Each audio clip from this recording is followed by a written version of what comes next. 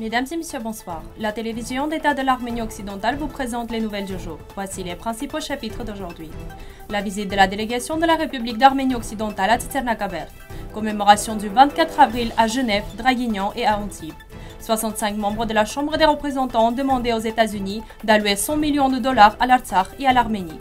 Le 24 avril 1915, un poignard a été inséré dans l'histoire ancienne des nations, Association démocratique des Alévis. Un concert intitulé Carrefour de la musique française se tiendra à Yerevan dans le cadre des Journées de la francophonie. Aujourd'hui, le 28 avril, la délégation de la République d'Arménie occidentale, dirigée par le président Armenak Abramian, s'est rendue à Titernakabert pour organiser une cérémonie de commémoration dédiée aux victimes du génocide contre les Arméniens. La cérémonie a été suivie par un grand nombre de participants, membres du gouvernement et du Conseil de sécurité de l'Arménie occidentale, des citoyens et des invités. Parmi les invités figurent également des anciens combattants de la Sala qui ont reçu la médaille de l'épée d'Arménie occidentale le président de l'Arménie occidentale, Armenak Abramian, le premier ministre de l'Arménie occidentale, le doyen de la faculté d'histoire de l'université d'État, l'historien, le professeur Edik Minassian ont prononcé un discours. Le ténor de renommée mondiale Vano Tadeo et le compositeur Arsène Hambarian se sont produits à la fin de l'événement. La vidéo de la cérémonie sera bientôt disponible sur notre chaîne YouTube. Une cérémonie commémorative des victimes du génocide perpétré contre le peuple arménien a eu lieu le 24 avril 2021 à Genève devant le Khachkar à 11h. Suite aux restrictions sanitaires, en présence de plusieurs citoyens de l'Arménie occidentale, des porte-drapeaux, Lydia Marcossian, ministère des Affaires étrangères, déposèrent une gerbe devant le Khachkar de l'église Saint-Jacob.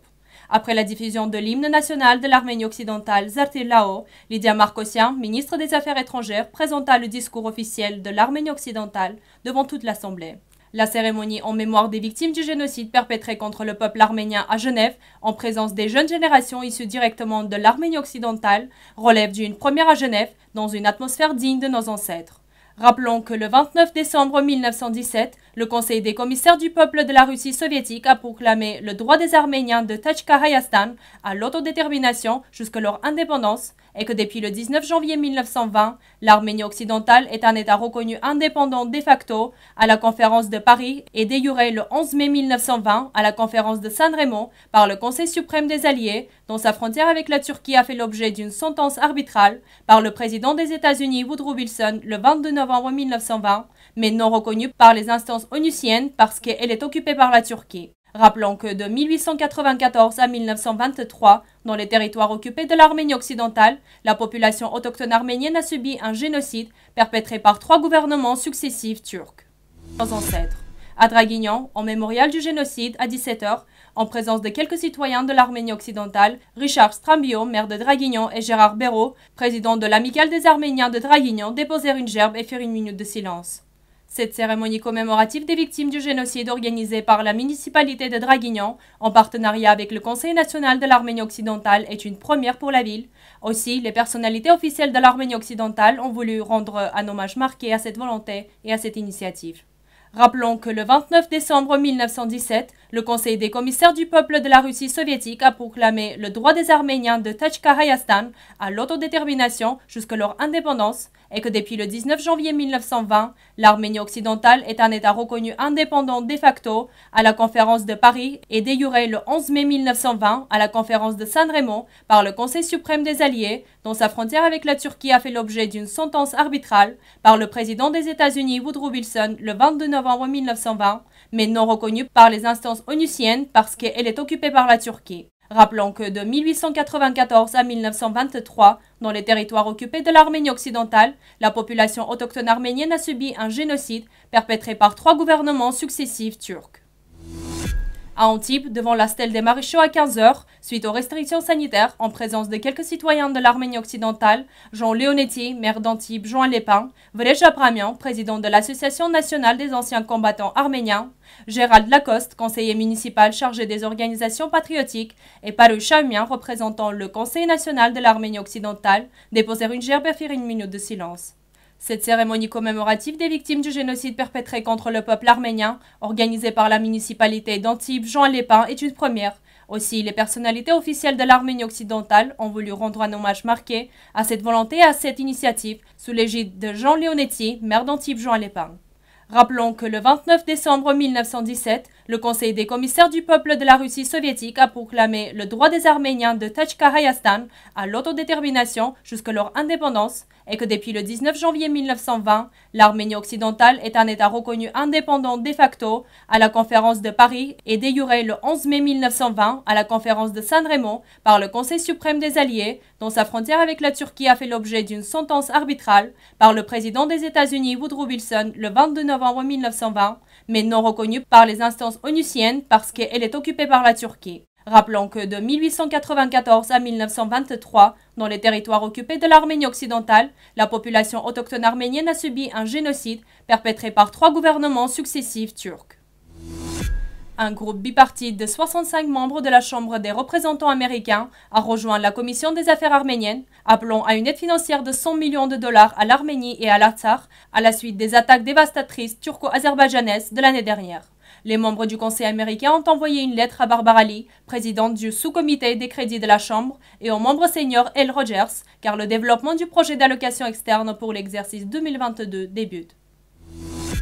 Le bureau central de l'Association démocratique des Alévis a publié la déclaration suivante à l'occasion du 106e anniversaire du génocide contre les Arméniens. Le 24 avril 1915, un poignard a été inséré dans l'histoire ancienne des peuples des terres de l'Arménie occidentale. Sur le chemin de l'enfrondement, l'Empire ottoman, essayant de rassembler les arguments idéologiques qu'il avait créés, et la turcité écrasée et costumée des Ottomans est entrée sous le fardeau du massacre, du génocide et a commencé un processus qui a détruit le pouvoir des peuples à rester fidèles à leurs anciennes valeurs.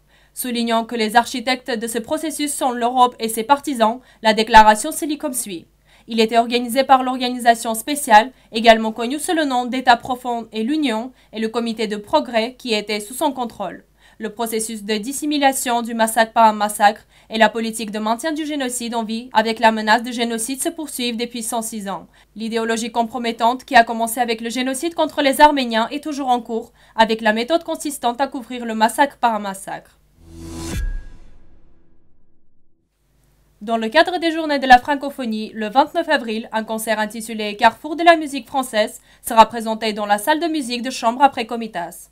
Comme le rapporte Almen Press, le corps de chambre d'État de Yerevan, dont chef d'orchestre est Christina Voskanian, et l'ensemble de musique ancienne Tararan, directeur artistique et chef d'orchestre ouvrier culturel honoré de la République d'Arménie, Setrak Yerkanyan, se produiront en concert. Les œuvres des compositeurs français Claude Debassy, Maurice Ravel, Jean-Baptiste Lully, Pierre Bonnet et d'autres seront interprétés. Le terme francophonie a été introduit en 1880 par le géographe français Onésime Reclus. Il a utilisé ce terme pour décrire des personnes, des pays qui parlent français. Le mot francophonie vient du mot français. Nous vous remercions pour votre fidélité et à la fin de notre émission, vous pouvez profiter de la performance de Jivan Gasparian Sariarchik dont la version complète est disponible sur notre site web.